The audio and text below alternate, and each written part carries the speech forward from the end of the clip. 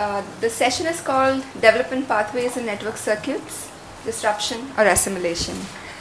Uh, it's indeed an honor uh, to have all of you here uh, with us, and it's a kind of high point for IT for Change to have had the privilege, uh, along with IDRC, to host this event. Um, I'm also extremely privileged to speak in this panel. Thank you very much to my colleagues.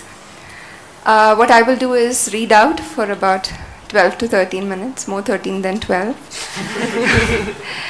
um, so that I don't trip over my thoughts and I'm able to represent the work of my organization, the conversations and the writings of my colleagues, uh, and do justice uh, to that.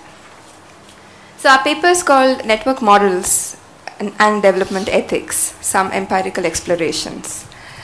And in our essay, a very, very long version of which we have uh, posted on the blog, uh, we wish to bring the spotlight on uh, micro-local environments and practices in the network society, adopting an approach that is socio-material.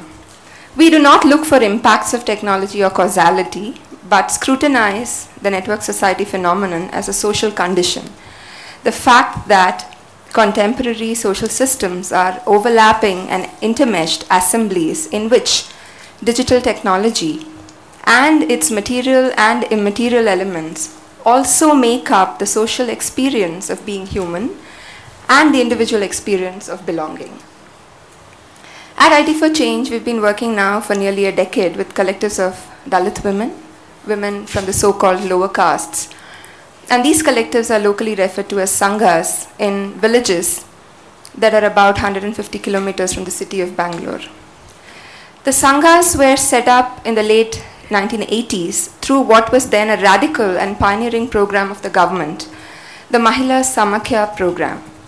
The philosophical foundations of the Mahila Samakhya program were Freirean, and the emphasis was on investing public finance in creating the space and time needed for women, mostly illiterate and socially marginalized, to collectively reflect and act upon the conditions of their oppression. Through the 25 years of their existence, Sanghas have seen gradual but decisive shifts. The rise and rise of organized crime and corruption in local politics, and a mind boggling complexity of new networks, net network formations. The MS or the Mahila Samakhya Sangha is no longer the only public forum for women. There are many, many others. The decentralization of governance through constitutional amendment and the place for women in local government through quotas or reservation has brought many Dalit women into public life, some of whom have been nurtured by the Mahila Samakhya Sanghas. As the drudgery of life and the unpredictability of jobs continues, local institutions have become entrenched in non transparency and expanding webs of clientelism. Caste and kinship are rearticulated through these institutions, and mainstream party politics complicate these equations as emerging loyalty groupings transect the public and community sectors. Money for several programs reaches the village governance institution, but getting one's entitlement is an uphill task unless you are an influential part of the system life world intersections, at least to service vote bank politics, if not for other transactions of mutual favor. Non government organizations and microfinance institutions have set up shop over time, and many Sangha women, many a Sangha woman is a part of multiple forums, self help groups, as they are referred to in government documents and in private sector documents.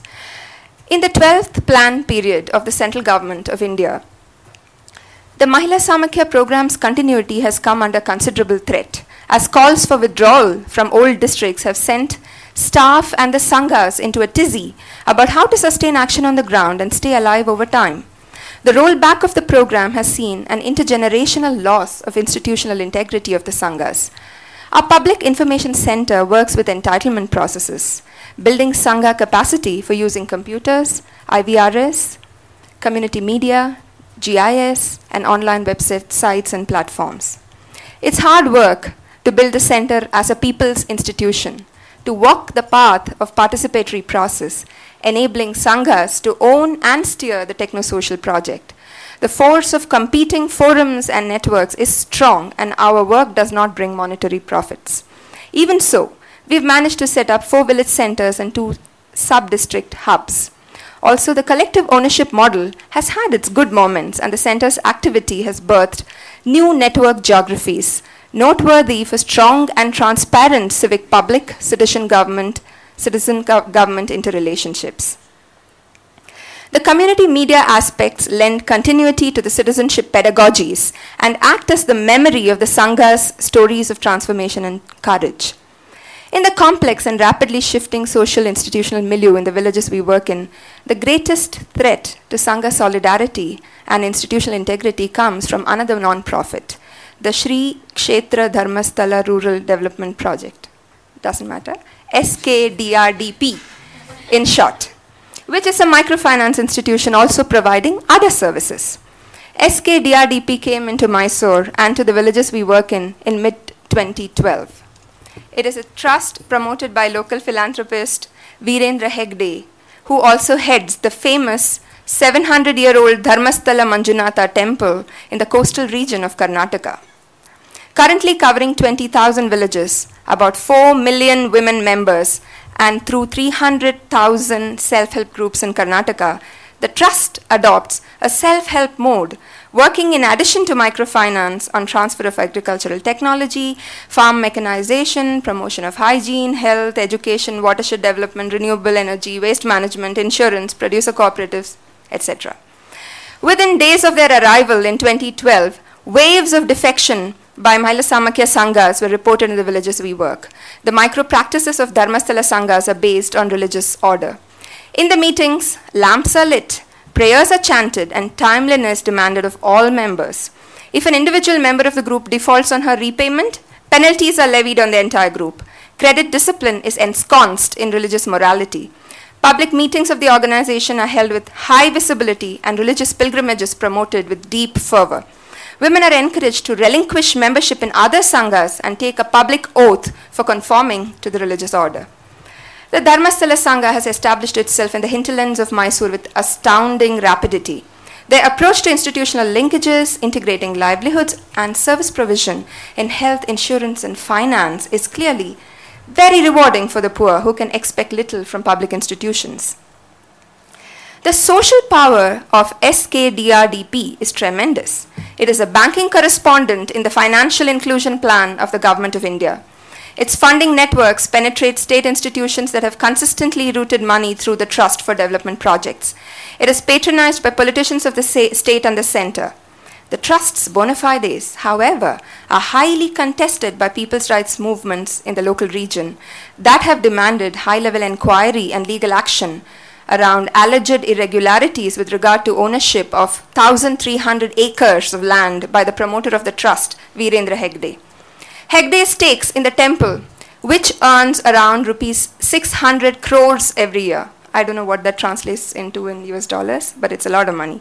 From public donations have been brought to question, and movement activists have urged that the temple be brought into state regulation. The rural countryside today is replete with sanghas and self-help groups owing, owing allegiance to various origins. Government schemes, NGO projects, micro-savings activity, private MFIs, microfinance institutions, etc. Every sangha signifies for the poor woman an opportunity to negotiate the hardships of her life, to search for a modicum of dignity and hope. As our work on community informatics continues in partnership with the Sangha, the domestication of women and their instrumentalization by big society actors reveals how the development process itself centralizes control over the marginalized poor. It is not as if women have a natural proclivity any more than men for group finance, but there's no real alternative. Markets have al always been arenas for the expression of forms of social authority and status derived from outside the economy. Patriarchal and divine authority, as in the case of SKDRDP, are unfailing tools to supply the preconditions for competition, information, skilling, contracts, access to finance, etc., to poor women, laying the foundation of apparently secular but ruthlessly corporatist regulative institutions that divide struggles with a shared history. In an overall environment where identity politics is mainstream and visceral, marginalized women's organizations are inevitably drawn into its web, the gradual and often invisible loss of critical public space leaves political movements devitalized and atomized. In the emerging post microfinance era, we see big players adopting a hold all approach, catering to multiple needs, segmenting society into differentiated markets at the bottom of the pyramid, BOP. Some MFIs, microfinance institutions, believe that the sector's future depends on big data for effective targeting of differentiated products. Mobile communication giants are also looking at entering the space, bringing with them their own variety of platforms and solutions and the unique ID project of the government is seen to be an opportunity to leverage information across MFIs on individual transactions. As bankability becomes vital for the survival of capital, meso institutions balancing commercial sustainability and social considerations can work only by selective inclusion. The poorest may not qualify as worthy customers. Traditional NGOs are also very sought after more and more as value co creators who can join forces on a common endeavor, a cause with a win win business solution for BOP markets. Ethical boundaries in these arrangements are highly diffuse as change and development, empowerment and participation become ingredients of a value chain with a colorful variety of actors that subsumes the consumer at the bottom of the pyramid, bound by a warm and fuzzy web of cooperation. Emerging trends behoove us to look closer at the politics of representation and the ethics of change making. Apolitical intermediaries, intermediaries whose business is to mop up the political labor of other civil society actors, are a breed whose locus standi needs interrogation. They occupy nodes in networks of change. They control resource and information flows, and they portend the triumph of a democratic centralization that invariably engulfs its peripheries as contemporary capitalism transposes development into commodity markets, driving fissures into community and political collectivity, it simultaneously pushes for the deinstitutionalization of that which does not fit into straitjacket exchange theory of value in a network of perish dictum. The Mahila Samakhya Sanghas we work with still keep up their practice of getting together, creating and listening to radio programs, and keeping information exchange decommoditized. They have, through our translocal collaborations that Desiree mentioned yesterday with communities from other countries, been able to connect to shared global struggles for public access and meaningful connectivity, which, by the way, does not exclude entertainment, but need not be the cunningly homogenous or homogeneously cunning mishmash of Hollywood and Bollywood that we see in India, for instance. But it is a challenge to stay with and sustain the elements of permanence that allow the collective to learn, act, and reflect. For the Sanghas, connection, conviviality, and conscientization are rooted in an analysis of material and social power. The collective agency to reclaim both is a commitment to time and shared history. The incursions of big society networks into the Sangha space dislodges collective memory about another ethics of knowing, being, and doing. So, what does this have to do with the continuities of exclusion? What we witness in network society capitalism is the futility of playing catch up. As Piketty's bestseller, recent bestseller, Capital in this 21st Century, which I've been recommended to read, I have not yet read it, but the reviews that I've seen seem to suggest that wealth today grows more quickly than does the economy as a whole. The relative losers are no longer low earners, but rather anyone who is not a capitalist. The post local global class today consolidates its power by controlling the meso spaces of the network. Meanwhile, the digital underclass, celebrated in many an ICTD research for their creativity and resilience, you know, expressions I just have come to hate, live connected lives that have little bearing on their capability to shape new network destinies. As the marketization of connectivity extends on a planetary scale, proliferating access is gulped down by the platform business. Not only disembedded internet intermediaries that we know, but new ones in town, aggregators who use embedded markets and their means of production for a brand new local relations of production. Human interaction and cooperation in virtual space, meanwhile, is a site for expropriation. Information, knowledge, expression, and exchange are monetized as participatory culture transmutates into labor in the capitalist enclosures of network society. Knowledge is disembedded and locked in copyright regimes. It is then centralized and re embedded through distributed networks as universal commodities of ubiquitous connectivity. Even Wikipedia is not exempt from this. Social power in the network society is about a global nexus of clientelism and dependency exercised through sites of network governance, a remarkably flexible innovation akin in its professed non dogma to its rather staid and archaic political cousin, anarchy.